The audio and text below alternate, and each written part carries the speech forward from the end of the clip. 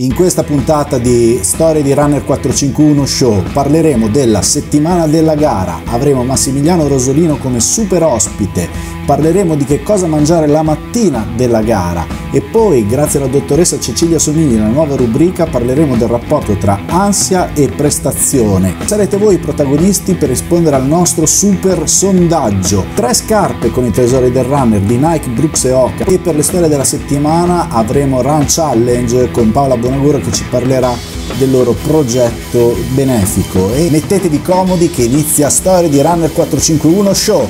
Benvenuti alla seconda puntata di Storie di Runner 451 Show. Io sono Simone Cellini di Runner 451. Io sono Marco Raffaelli di Storie Correnti, benvenuti a tutti. Andiamo subito con la prima rubrica, Marco. Allora Simone, io la prossima settimana sarò a Napoli per correre una delle mezze maratone più belle in Italia e volevo giusto sapere come affrontare quest'ultima settimana prima della gara appunto. Te ne parlo proprio in Run Like R451 come affrontare la settimana della gara. La settimana della gara. La settimana della gara è una settimana molto delicata perché se sì è vero che ormai tutto quello che potevi fare l'hai fatto, gli allenamenti e tutto, la settimana della gara è quel momento dove non puoi migliorare, non è come le interrogazioni a scuola che l'ultima notte facevi super, eh, il super dritto, studiavi e portavi a casa magari la sufficienza un po' di più, ma invece la settimana della gara è quella mm, situazione in cui non puoi poi mm, tanto migliorare ormai quello che dovevi fare l'avevi fatto ma puoi rischiare di buttare via tutto il lavoro che hai fatto per questo è molto molto delicata Qual è il primo comandamento nella settimana della gara? È non fare niente di diverso da quello che hai fatto sinora. Non è il momento di inserire novità, né dal punto di vista dell'allenamento, né dal punto di vista dell'alimentazione, del sonno, del riposo. Perché questo? Perché qualsiasi cambiamento ha necessità di tempo perché il nostro organismo dal punto di vista psicofisico lo accetti e lo adatti. Quindi non inseriamo novità. Chiaramente, se sei abituato, abituata a dormire poco, se dormi un po' di più, ecco questa è una novità che ti farà bene. Se sei abituato a bere molto alcol, non berlo è una novità che ti farà bene. Quindi, diciamo, non inseriamo novità, trucchi, colpi ad effetto pensando di rivoluzionare il nostro risultato in gara. Siamo in una fase di scarico che a seconda della distanza che andiamo a correre può essere già iniziato oppure eh, culmina proprio diciamo il suo picco di scarico nella settimana della gara ed è fondamentale. Il rischio, attenzione, è confondere lo scarico col non fare nulla. In realtà lo scarico è una riduzione importante dei volumi medi che abbiamo sempre fatto, ma non è una riduzione della qualità e della quantità in toto. Cosa vuol dire questo? Che i lavori ad alta intensità devono rimanere anche nell'ultima settimana di gara. Ovviamente non saranno lavori allenanti, avranno dei recuperi più lunghi, più importanti importanti, sono quei lavori che ci aiutano a ultimare la fase in cui alziamo la condizione e trovare quella brillantezza che ci servirà il giorno della gara. Anche dal punto di vista dell'alimentazione non inventiamo nulla. Dopo vedremo con Nicolas come affrontare la colazione la mattina della gara quello che c'è da non inventare, la vecchia strategia scarico e poi carico di carboidrati non funziona, quindi anche lì da non inventare nulla, chiaramente nelle 48 ore precedenti alla gara si può iniziare, anzi è auspicabile fare un piccolo aumento in carico di carboidrati per essere sicuri di avere tutte le scorte di glicogeno muscolare ed epatico, quindi a livello del fegato, pronte e cariche per il giorno della gara. Per il resto godetevela, godetevi l'avvicinamento, sentite l'aria, il profumo eh, della linea di partenza soprattutto iniziate ad immaginare, a sognare la linea d'arrivo, ma attenzione all'ansia, anche questo è un altro argomento che affronteremo in questa puntata grazie alla dottoressa Cecilia Somigli. Marco, un super, super, super ospite oggi qui a Storia di Runner 451 Show campione olimpico, campione dappertutto, perché qualsiasi cosa che fa vince o quasi, chi abbiamo? Eh, siamo molto contenti di avere con noi Massimiliano Rosolino, un uomo che insomma eh, tra Olimpiadi, Mondiali e record ha fatto tutto e non contento con il suo approccio ha cambiato sport, incrociando diversi eh, aspetti della vita da campione, quale è ancora oggi. Massimiliano, grazie, grazie, grazie mille per essere qui con noi. Benvenuto a Storia di Runner 451 Show. Ciao Massimiliano. Grazie, grazie a voi ragazzi. Eh, sono venuto di corsa, come si dice, no? è, è, il posto giusto dove venire di corsa questo, assolutamente. Ma sicuramente e... mi sento a mio agio. Ah, guarda, eh, è veramente, veramente un piacere averti qui ed è anche veramente un piacere parlare di corsa con te. Fuori onda ci stavi raccontando che stai preparando eh, la maratona, ma la prima domanda che ti vorrei fare è come mai hai iniziato a correre dopo tanti, tanti, tanti anni di acqua mm. che poi non hai abbandonato? Allora, perché ho iniziato a correre? Eh, la realtà probabilmente succede anche questo, che eh, io non ho mai corso in vita mia, non sono mai stato portato e credo neanche adesso. Però mh, mm, la, mi ricordo quando ero piccolino che correvo a settembre sul, sul molo della mia piscina, io arrivavo rosso paonazzo, cioè ero distrutto, non riuscivo a camminare per giorni. E quindi ho sempre detto no, non è, non è per me, e anzi sono dei pazzi quelli che lo fanno. Poi nel 2016 sono andato a Rio de Janeiro per le Olimpiadi, ho, ho clicchiato con degli amici, ma soprattutto ehm, ho cominciato a corricchiare perché per un lavoro mi hanno chiesto di fare un triathlon molto sprint, super sprint. Quindi ho detto almeno limitiamo i danni, corriamo. E in più avevo una mia carissima amica di Napoli e il suo allenatore che mi hanno fatto fare un test di Cooper, quindi mi sembra che feci, non so, 12 minuti, 2700, 1800 metri, e da lì ho detto aspetta però non, non mi dispiace sta roba qua.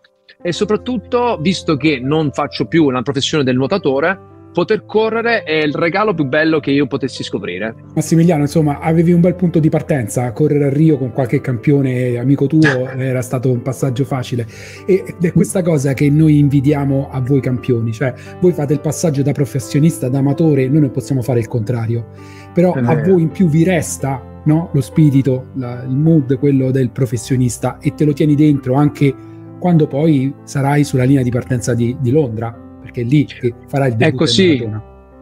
Guarda, è così. La realtà, guarda, oggi parlavo con mio cugino che ha fatto già un Ironman e farà il secondo, ha fatto tante maratone. E lui è un po' un cinghialone come me. Stessa, diciamo... Testa bassa. Chiama... Sì, però la realtà ho detto, ma tu come fai? Scusami, perché io sono veramente un animale da fatica. Io adoro la fatica. Però indubbiamente è diverso fare fatica in acqua. Io facevo 4-5 ore al giorno, 100 km a settimana, quindi correvo più di quanto io non riesca a correre, cioè certo. nuotavo più di quanto io non riesca a correre adesso. Eppure comunque è estremamente affascinante. Come hai detto tu, io affronto tutto con grande professionalità perché eh, mi piace sfatare il mito eh, degli infortuni, eccetera, eccetera. Io penso, poi ditemelo voi, molte persone ehm, si avvicinano al running e la prima cosa che pensano a quanto vai e quanto, quanti chilometri fai. Sono due coefficienti che io ho capito da subito, per fortuna perché mi sono avvicinato, sono andato poi a correre in una squadra che faceva triathlon, eh, perciò ho capito subito che la ripetuta, la tecnica, un minimo, ok, non sono il re della tecnica perché vado subito al sodo, però comunque ci sono alcune cose che uno deve cercare di fare. E adesso che sto preparando la maratona di Londra è ovvio che poi io curo il Pilates, adesso vado a nuotare appena mi stacco con voi, vado a noticchiare un pochettino, eh, faccio la fisioterapia. Ed è ovvio che molte persone penseranno subito ah, ma tu sei fortunato.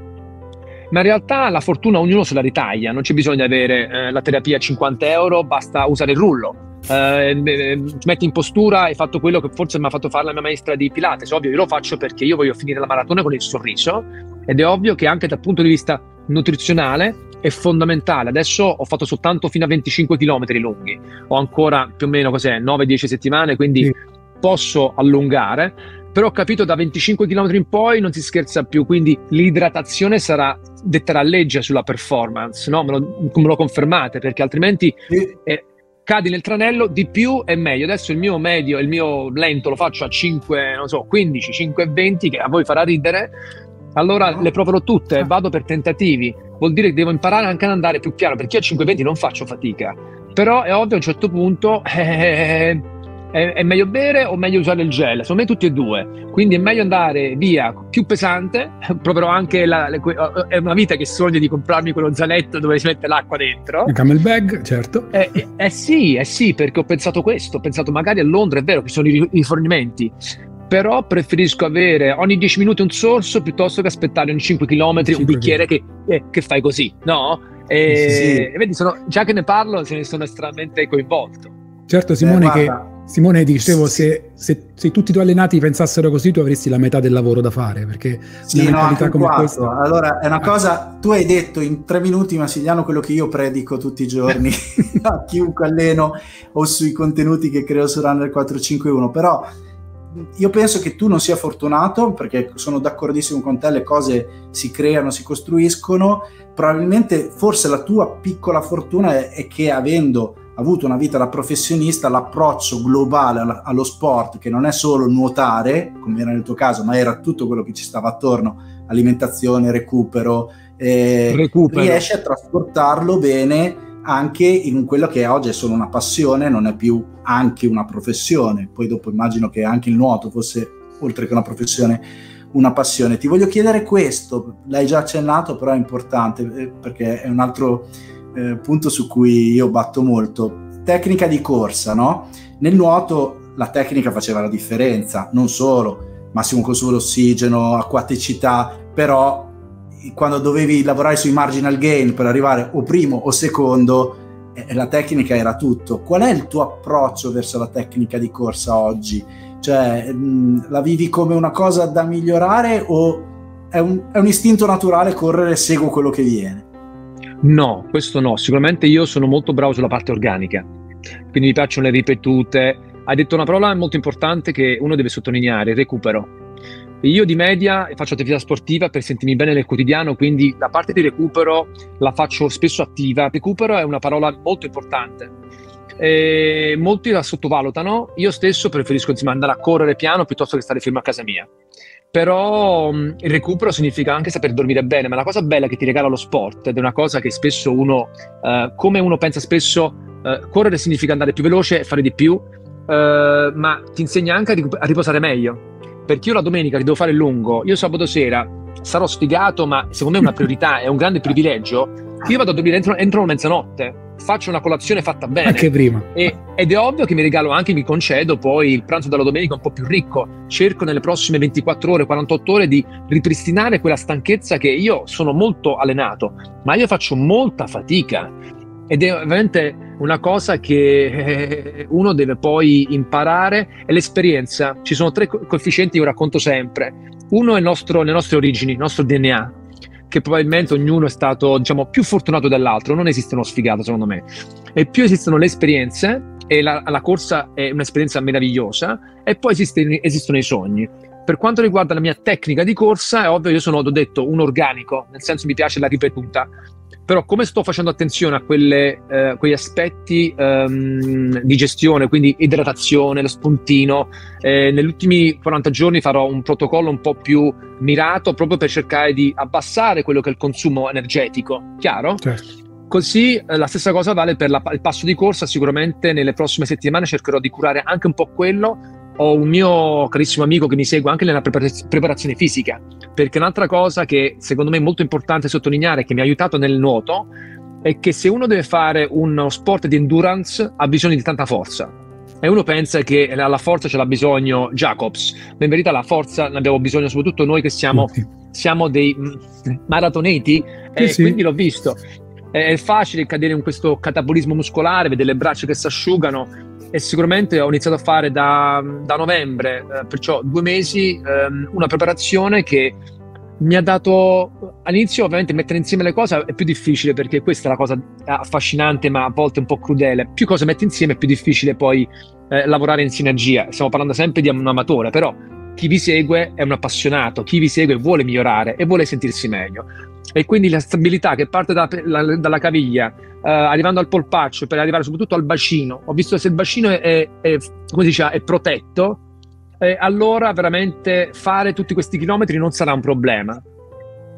Guarda, Massimiliano, noi siamo contenti di sentire queste parole perché sono quelle che ci ripetono Io tantissimo e leggiamo noi spesso sui, sulle tecniche no, di allenamento, però sentirci vicino a chi ha vissuto un'esperienza come la tua, professionale sportiva è un qualcosa di incredibile. E noi l'abbiamo vissuto l'altra settimana quando abbiamo intervistato Andrea Giocondi che lui è stato ad Atlanta quindi anche lui ha indossato la maglia azzurra. E, e, e quello che noi pensiamo di voi è che un pochino vi, vi vediamo come dei supereroi, io lo dico proprio senza mezzi termini, cioè voi avete raggiunto un livello che non, la gente normale non capisce esattamente cosa vuol dire arrivare a quel punto, a stare sotto i cinque cerchi. Dal tuo punto di vista, a, non sentire più quel brivido davanti a un uh, evento iridato, ti dà più nostalgia o no, voglia di tornare, di tornare a sentirli?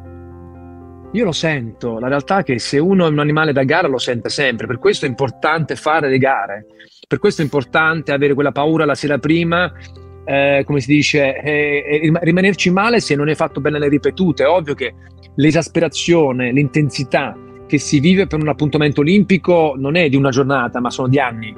Esatto. E, però io, un esempio banale, è vero che lo faccio con un partner eh, legato al mondo del running adesso per la maratona, però fondamentalmente è una scusa per fare quello che ci piace ed è ovvio che tutti i giorni bisogna ritagliarsi quei momenti per fare un po' la differenza. Io adesso ho finito di allenare master, ho detto ragazzi, quello che facciamo oggi non ci serve per andare più veloce, ci serve per affrontare il semaforo rosso e non mm. innervosirci, per trovare una coda e dire ok, l'ottimizzo. È questo quello che mi regala lo sport nel quotidiano, perché io non ho, non ho rimpianti, io ho fatto tutto quello che potevo e io ho notato fino a quando non arrancavo ed ero quasi un po', eh, lasciatemelo dire, um, eh, eh, forse gli ultimi due anni un po' tristi perché veramente non ne avevo più.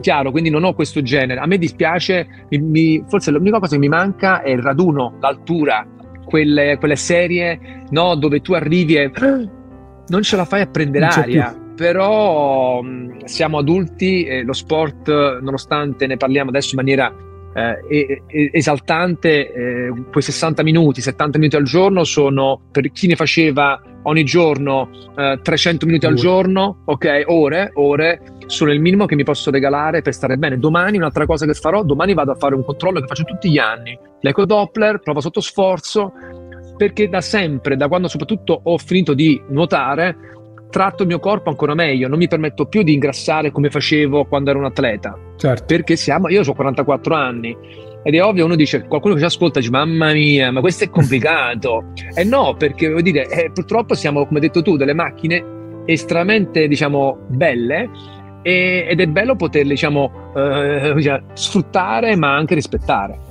assolutamente. Insomma, Simone, eh, vabbè, lo so, tu saresti, faresti un giorno intero così, lo so? Sì, sì, sì, anche, no, ma io lo uso come spot per tutti i miei servizi di allenamento, dopo tutte queste cose che hai detto, la forza, il recupero, cioè su cose che dico e ridico che sembro un rompi, vabbè, non lo dico. Massimiliano, allora, intanto siamo curiosi di vedere come andrà Londra. Probabilmente ti aiuterà a vedere in giro e non vedere solo il fondo di una piscina nei momenti di difficoltà della maratona, se ci saranno. Eh, ma io ti auguro che un pochino ci saranno, perché ho capito il tuo approccio, secondo me quelle difficoltà lì ti faranno dare ancora qualcosa. Ma lo sai una cosa, che io molto spesso mi capita più in bici che non di corsa. Molti mi hanno detto, ah, questo è un posto bello, guardi cosa... Io quando corro non penso a niente eh, qualcuno mi ha detto, ah, facciamo la corsa, ovviamente vivo a Roma, andiamo in pieno centro. Io abito, diciamo, la zona cent- centrale comunque, vado sulla pista ciclabile verso fuori Roma. L'altra volta ho corso, ieri mattina ho corso e sono andato verso uh, Castel Sant'Angelo, ok? L'isola Tiberina, che è un posto meraviglioso, però eh sì. se posso scegliere posso anche fare il cir- il, otto volte il circuito il da 5 km. cioè, uno che ha fatto avanti e indietro per 50.000 km si fa questo problema? Eh no, no, perché la libertà la cosa che mi piace della, del corso, della corsa del running è che posso correre ovunque, quindi non mi spaventa, fino a meno 5 tutto a posto. È ovvio che sulla respirazione devi stare un po' più attento a scaldarti certo. bene, eccetera, eccetera. Sì. Um, però è, è, una sensazione molto molto bella, secondo me è antinfiammatoria. Guarda, la racconto, ho fatto una 10 km di Miguel qualche settimana fa, ho finito, ero, stavo benino, però in 10 minuti mi sono ghiacciato addosso di sudore. La sera mi è venuto proprio un raffreddore acutissimo, acutissimo. Ma l'indomani ho ricorso e mi è passato. Ok? Col, no, colpa, eh, colpa, anche delle foto che ti hanno chiesto dentro l'Olimpico, perché a un certo bravissimo, punto ti hanno... visto che eri... E io dicevo, non è che non le voglio fare, ma mi sto però, per ghiacciare. fatemi cambiare, eh sì. Però guarda, eh. l'indomani mattina sembrava un pazzo perché ero smoccioloso, sì, però sì, sì, sono andato a correre molto coperto, bella doccia calda e veramente credo che quello, quello la, la, lo sport in generale è un vaccino, ma il calore che puoi generare eh, tramite la, la corsa in, in, ogni momento è veramente notevole.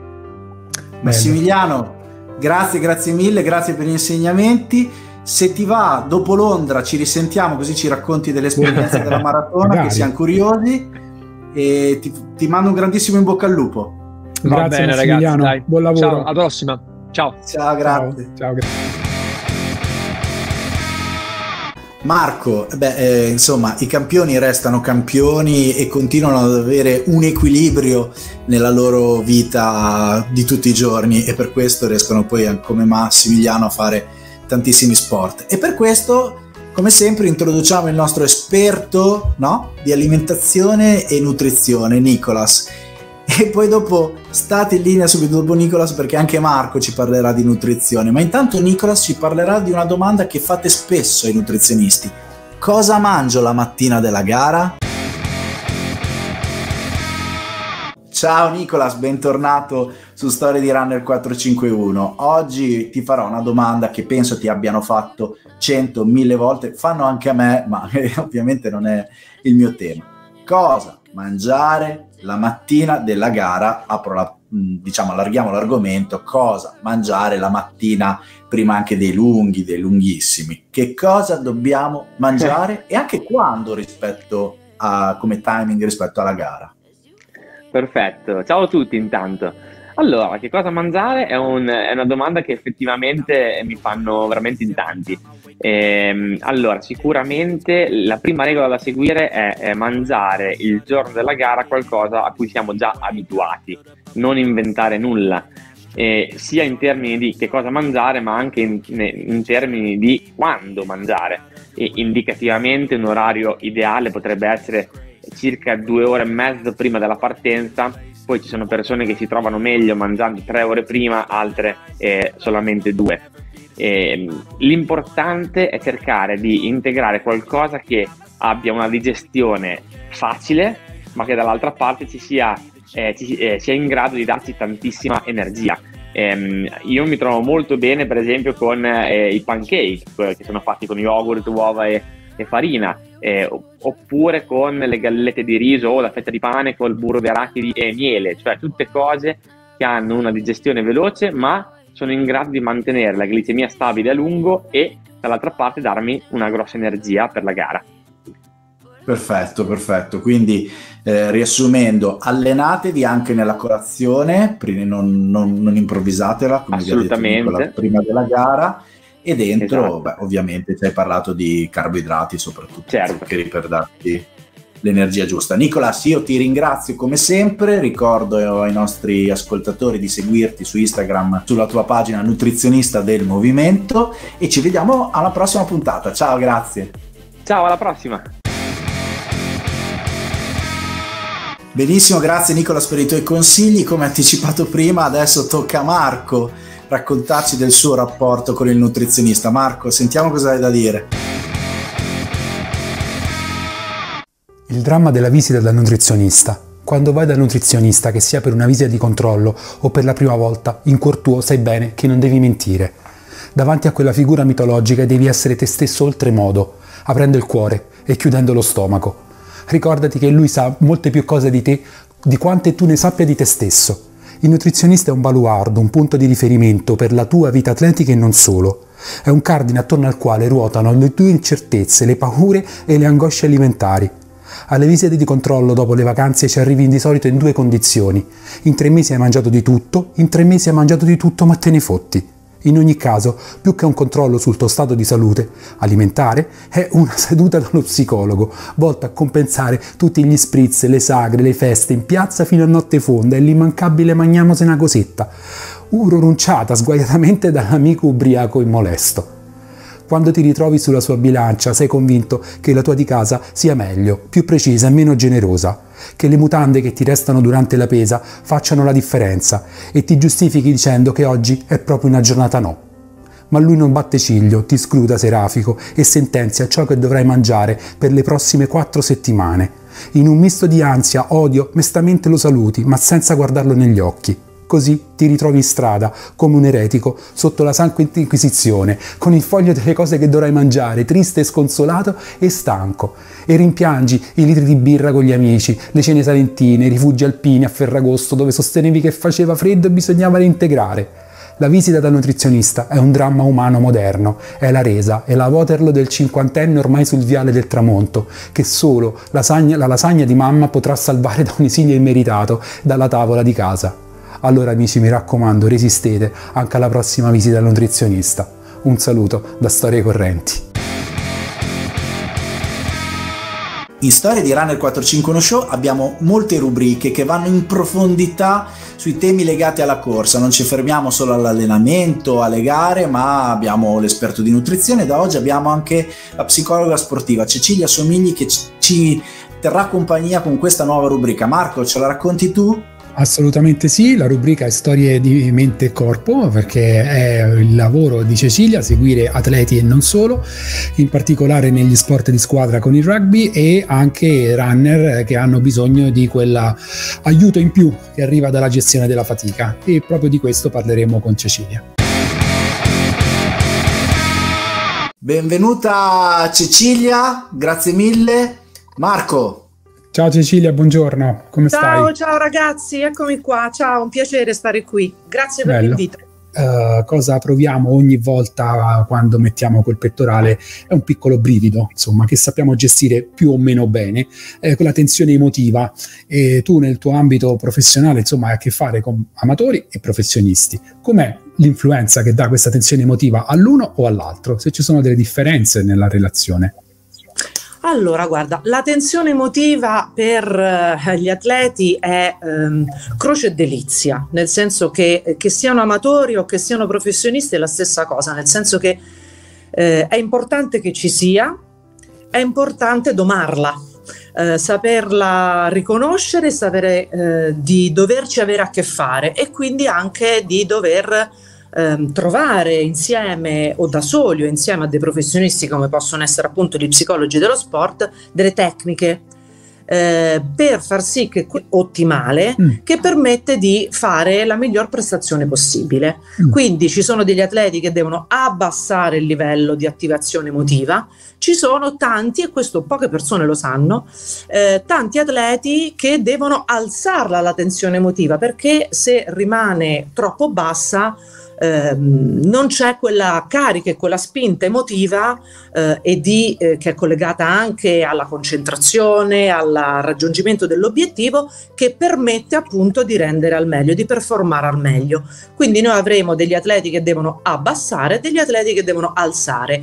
Per poter capire se devo alzare o abbassare, devo prima conoscerla questa eh, parte. Certo e quindi il lavoro è un po' quello di conoscenza di se stesso, per quello è importante farlo con chi ehm, ehm, è esperto, quindi come dire che ha le competenze per entrare un po' dentro mm. a, alle, alle, persone. Quindi uno, un osservatore esterno che sia in grado di, sì. di mettere in ordine questi equilibri o, o capire da dove partire.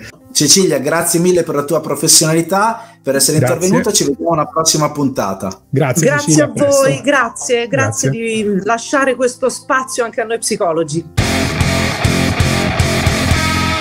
Simone, anche questa settimana siamo arrivati al sondaggione, eh? tanto perché vogliamo sapere qualcosa in più dei nostri eh, follower o di chi ci vede. E allora, qual è il tema di questa settimana? Allora Marco, non so tu se ce l'hai la, questa risposta, io ce l'ho. Qual è quella scarpa che, mm, con cui non correte più, ma che non butterete mai, che ancora conservate o magari usate anche dopo anni? Diteci qual è la scarpa, il modello, ma soprattutto perché non la buttate, legata a che cosa? Tu Marco hai una risposta a questa domanda? Assolutamente sì, ho una scarpa che non va via, che ha fatto Firenze-Faenza, se l'è fatta tutta in 12 ore e 40, dieci anni fa e sta ancora lì nell'armadio e mi dispiace darla via, ma quella non mi dispiace, ma non si butta. Simone, per la rubrica I tesori del runner, di cosa ci parli questa settimana? Guarda, vi presenterò tre scarpe uscite negli ultimi tempi che trovo molto interessanti. Via. Vediamo oggi tre nuove uscite, le Nike Invincible 3. Sono disponibili dal 2 febbraio di quest'anno, è la terza edizione dopo che già le prime due sono andate molto bene. Segno di continuità, però ci sono alcune differenze. La scarpa sicuramente diventa ancora più stabile. Grazie a che cosa? Grazie al fatto che aumenta sia la larghezza nella parte anteriore che posteriore. Aumenta un po' anche l'altezza, questo vorrà dire ancora più schiuma per una corsa ancora più morbida. Per chi è la Invincible? Come i due modelli precedenti, la Invincible è indicata per i runner meno lenti, ci si può fare tutto, dagli allenamenti più lenti, più veloci, alle gare anche più lunghe. Per i runner più veloci è un ottimo modello per scarpe da lento e soprattutto da lunghi e da lunghissimi. Poi andiamo in casa Brooks, quindi rimaniamo negli States. Brooks ha presentato diversi nuovi modelli, tra questi ci sono la Imperion Max e la Hyperion Elite 3 diciamo sono le due facce della stessa medaglia, nel senso che una è la versione d'allenamento e costa un po' meno, l'Hyperion Max e l'Hyperion Elite 3 è la versione da gara. Qual è la grossa differenza? L'Elite 3 ha la piastra in carbonio, cosa che non ha l'Hyperion Max.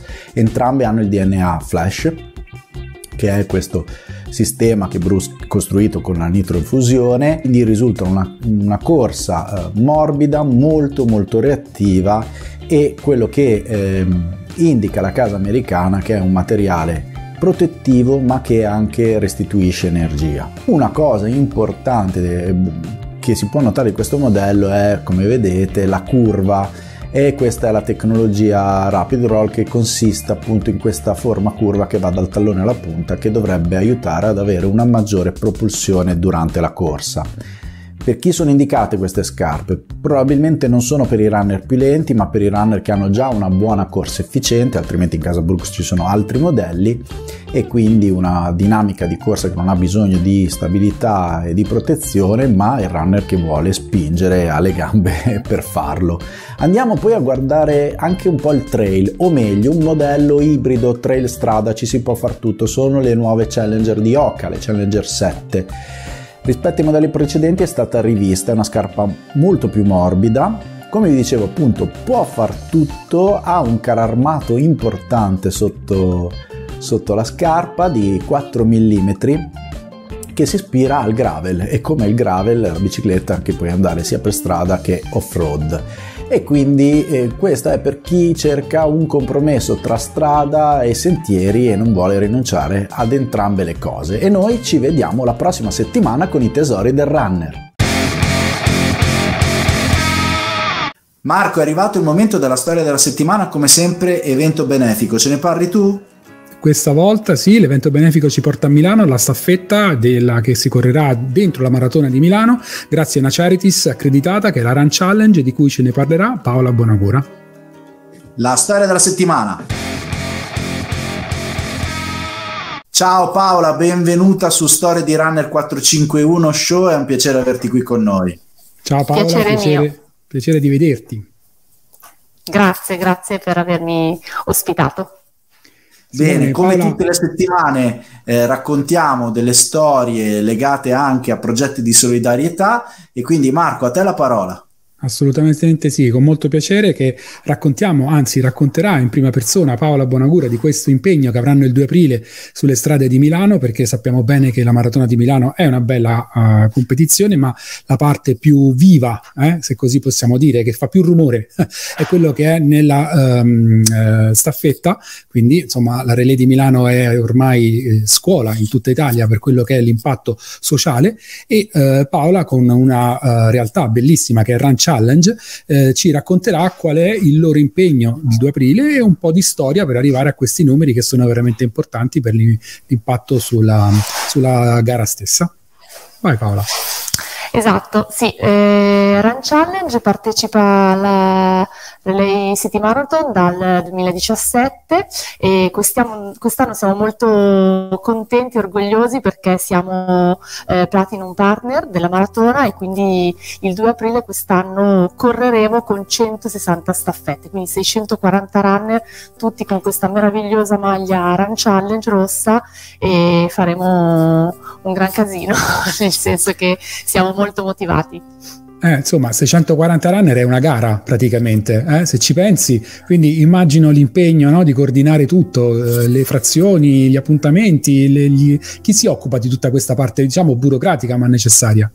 Beh, c'è un fantastico team uh, Run Challenge, eh, capitanato da Enrico Petracco che è il responsabile del progetto, io che lo affianco, una fantastica Norma, nostra collega, insomma, eh, persone che ovviamente si danno da fare mesi prima per poter coinvolgere runner con e senza disabilità, perché Run Challenge ha questo grandissimo obiettivo, il cuore grande che è quello di far correre tutti e di dire sì a tutti per poter partecipare. E ovviamente poi c'è tutta la partecipazione e collaborazione di aziende che ci supportano e quindi correranno con delle staffette aziendali.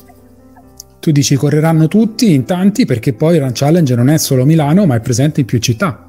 Bravissimo, esattamente, nasce a Milano nel 2016 ma poi negli anni ci siamo eh, ingranditi e alla Milano Marathon parteciperanno tutti gli altri punti Run Challenge, Run Challenge quindi verranno da eh, Verona, da Bologna, da Napoli, da Palermo, da Cagliari e tutti i nostri punti che, che negli anni si sono uniti al network di Run Challenge. Quindi chi vuole aiutare Run Challenge, chi vuole sostenere il vostro eh, impegno, e parliamo dal punto di vista economico perché poi è inutile che girare intorno le staffette e la raccolta fondi, eh, gli inglesi in questo ce l'hanno insegnato, è un mezzo per poter sostenere dei progetti importanti, specie in ambito sportivo. Qual è il vincolo, l'obiettivo ovviamente e come poterlo sostenere? Assolutamente sì, eh, grazie alla Relay Marathon noi ovviamente riusciamo a raccogliere fondi per sostenere il progetto che in realtà eh, fa una grande festa il 2 aprile ma di fatto eh, si sostiene e si supporta per tutto l'anno.